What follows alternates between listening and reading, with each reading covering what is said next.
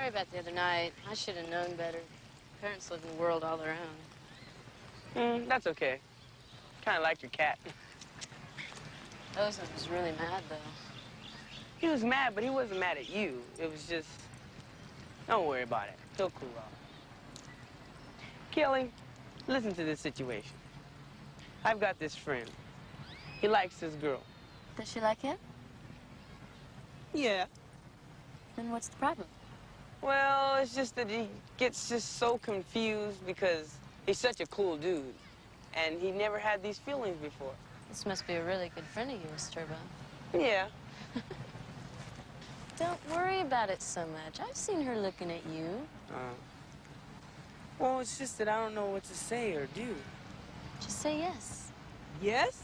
Yes. Yes.